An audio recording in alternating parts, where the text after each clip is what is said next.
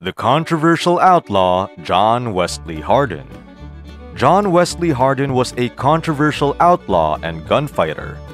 As a young man, he often gets into a fight and killed a man for the first time when he was 15.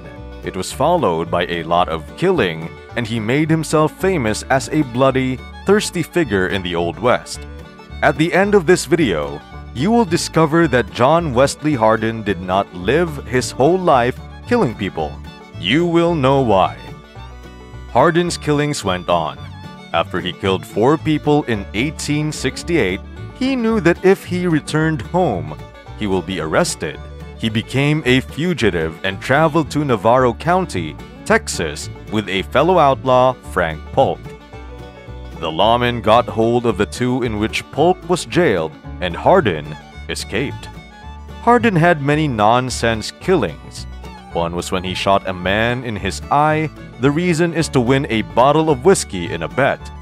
On another occasion, he and his cousin, Simp Dixon, encountered a group of a soldier and each of them killed one man. One night, Hardin was playing cards with Benjamin Bradley. Luck was with Hardin that night and was winning almost every hand. This got Bradley very frustrated, and he said that he would cut off Hardin's liver if he won again. Bradley drew out a knife and a six shooter. Hardin excused himself and he said that he was unarmed. Bradley did not stop. He came looking for Hardin all night until he saw him and he shot Hardin. Hardin missed the bullet. Hardin would not let this pass. He drew his two pistols and shot Bradley one on the head and the other on his chest. Hardin was involved in many gunfights. In 1871, two Texas special policemen, Green Paramore and John Lackey, and two freedmen. In the following year, he noticed that he was being followed by two Mexicans in Corpus Christi, Texas. Without knowing the clear intentions, he shot one of them and he fell from his horse, and the other one quit the fight and ran off. Hardin was always being chased by lawmen for almost half of his life.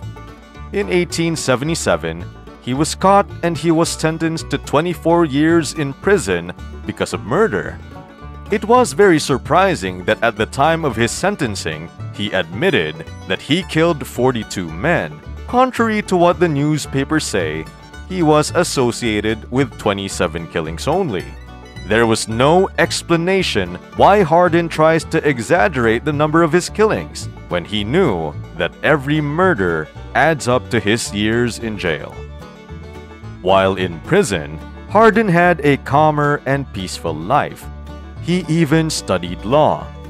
When he was released in 1892, he started a new life in Gonzales. He worked as an attorney and he ran for politics. However, he was unsuccessful.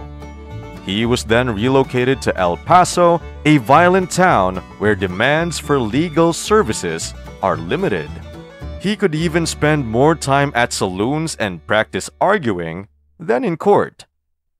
The El Paso sheriff tried to make their town less violent by outlawing the carrying of a gun.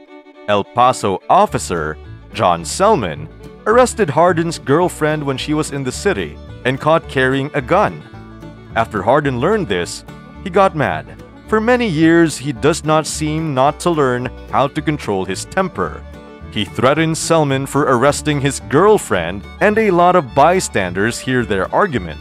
The same day, Selman looked for Hardin all over the place, and he found Hardin in a bar throwing dice. He just walked up behind Hardin and shot him in his head.